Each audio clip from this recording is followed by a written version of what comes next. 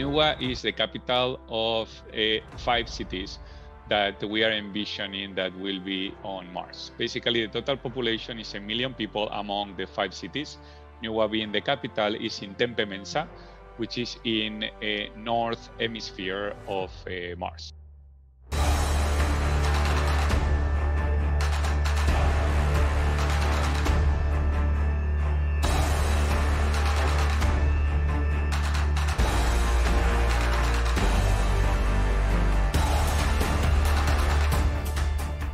We have done an analysis. We think that it can start by uh, 2054. That's when the city can start construction, and it can be built by 2100.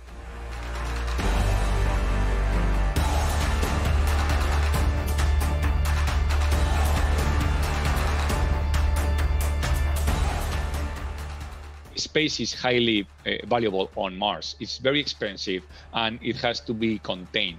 So the way we are uh, solving it is by having uh, residential quarters where uh, people are living in a small area. We are basically talking about 32 square meters per person, but then we have other spaces that are for the community.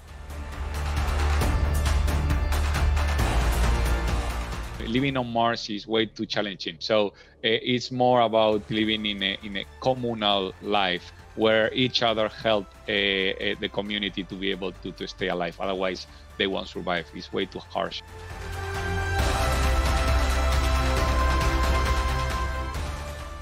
Here on Earth, we use around 6,000 square meters per person for anything related with uh, crops, or agriculture or a, a food for animals, right?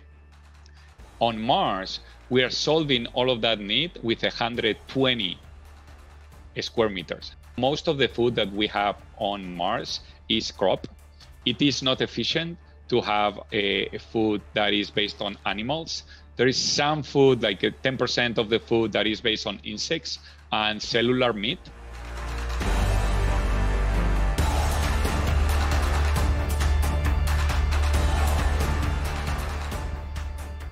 the uh, learnings that we are getting by developing a fully sustainable city on Mars is bringing us so much know-how and ideas and insights about things that we could do different on Earth.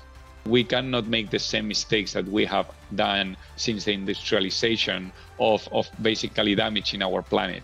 So if we have the right systems and processes in place, we can uh, uh, try to minimize or ensure that uh, new colonizations on, on other planets happen sustainably. And that is something that can be extremely important for, for understanding a, a, a new way of, of living.